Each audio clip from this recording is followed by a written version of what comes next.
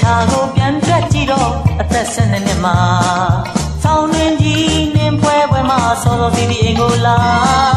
ရွှေမင်းဝင်းမင်းတွေတပိတ်ဖိတ်နဲ့သူရဲ့လက်ဆောင် Christmas က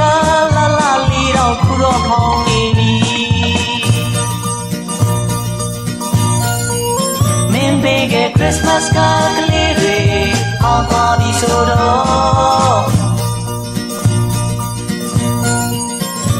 ပေးခဲ့ချစ်စာနာလေးတွေ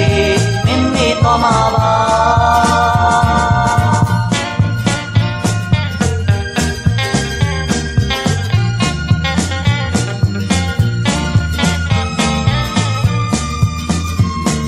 ဖော်ရီဆုံးလင်းနင်းဖိတ်ခဲ့တဲ့ Christmas ညတညမှာ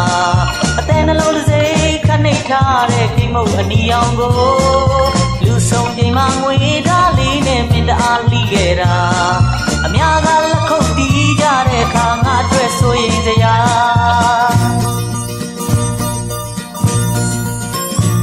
မင်းပေးခဲ့ Christmas ကကလေးတွေဟောသွားပြီဆိုတော့မင်းပေးခဲ့ချစ်စာနာလေးတွေမင်းမေ့သွားမှာပါ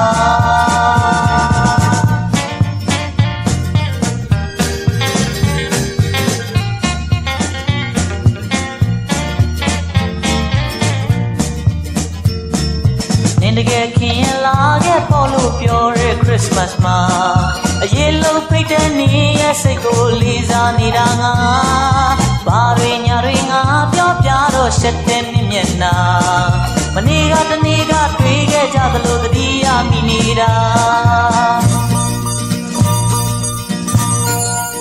မင်းပေးခဲ့ Christmas ကကလေးတွေအောင်သွားပြီဆိုတော့